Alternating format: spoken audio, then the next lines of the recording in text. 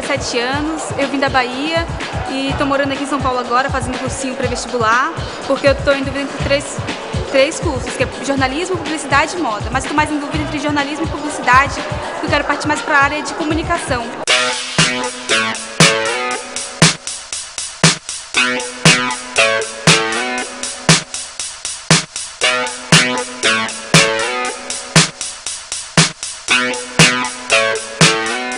Olá, Thaís, tudo bom?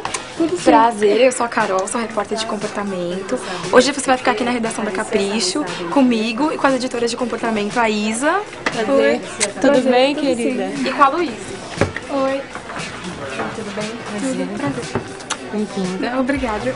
Tá aí, seguinte, hoje, para começar, você vai participar da nossa reunião de comportamento, onde a gente vai conversar sobre as matérias.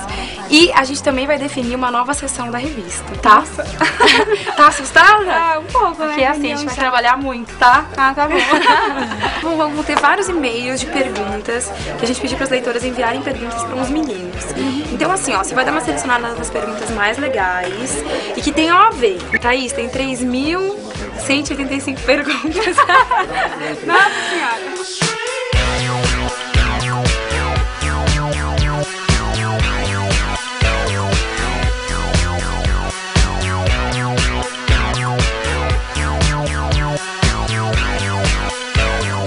Aí, Thaís, como é que estão aí as coisas? Oi. É, ah, eu achei já li uns mil e-mails.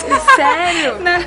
Que você já achou alguma sugestão legal? Algum tema achei, que você acha que tem que eu ter? Acho que tipo, os melhores estão nesse aqui.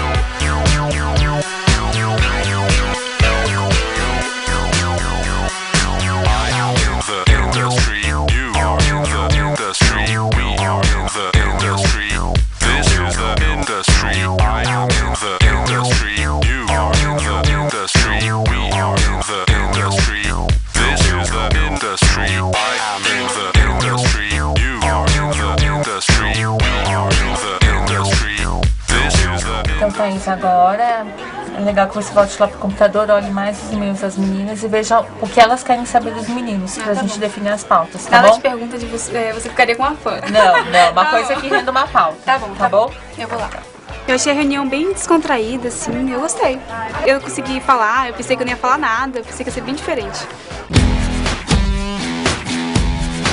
Eu acho que jornalista trabalha muito porque não tem dia certo para trabalho. Tem, tem matéria que sai assim domingo. É, o jornalista trabalha muito. a gente tem uma rotina que aqui que a gente tem que fechar a revista. Então, assim, não importa o que aconteça, faça chuva, faça sol, a gente tem que fechar a revista. Então, sim, a gente trabalha muito para conseguir cumprir os prazos, para conseguir pôr a revista na banca para as leitoras comprarem. Mas, assim, é um trabalho. A gente trabalha muito, mas é muito divertido também e é muito gratificante. Eu acho que dependendo de onde o jornalista trabalha, ele vai ganhar bem ou mal. Dependendo da área do jornalismo, você vai ganhar mais ou menos. Então, daí é escolher aquilo que te faz feliz e que te recompensa do- da forma, do jeito que você espera. Qual que você mais gostou dos quatro? Ah, eu acho que relacionamento. Então, deixa eu ver, vamos ver, lê pra gente. Ó, é, tem a, pra, você, pra vocês, namoro à distância, tem futuro? Legal. E que outra pergunta você acha que a gente pode fazer com essa de namorar à distância? Ah, se ia dar certo. Porque, ah, sei lá, a gente podia pegar alguém por lá e eu nunca ia descobrir. Foi